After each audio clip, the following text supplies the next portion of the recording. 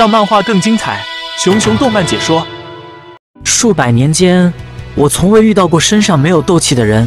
不过，对于善战的我来说，这些都不是问题。然而，现实却出乎意料，数百年的武术精髓，在今天被堂堂正正的击败了。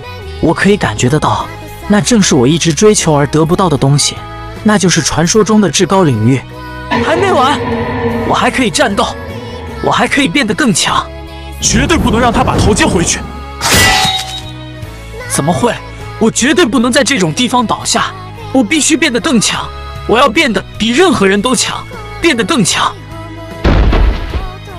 结束了，我们终于赢了！身体已经到达极限了吗？怎么可能？他的身体居然没有崩溃！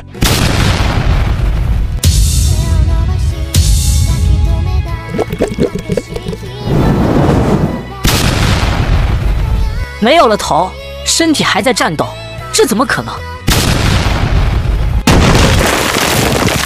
怎么会这样？不可能的！那家伙正在改变，朝着某种不可知的东西改变。战斗还没有结束，战斗还……炭治郎晕过去了吗？他早就超过极限了，必须保护炭治郎。水之呼吸，四之行，击打潮。再生了吗？没有头，居然还能这么快！我也到达极限了吗？等一下，我还活着。想杀炭治郎的话，必须先打败我。不屈的精神，不管面对怎样的困难都不死心。我们不是武士，但是心里却有刀，用的只有自己的拳。